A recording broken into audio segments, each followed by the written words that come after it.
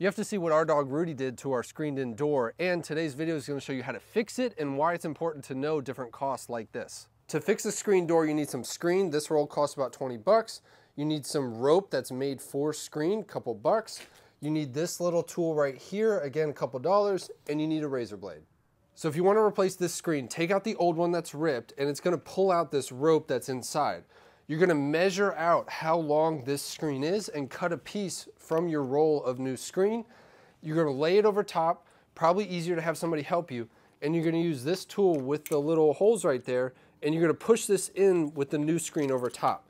Once you're done, you use a razor blade to cut out and make it a perfect line over here. So this tube only cost me $20 and I have plenty of screen left over. Now, why did I wanna bring up how easy it is to fix that? Because it only cost me 20 bucks for this roll to fix an entire screen.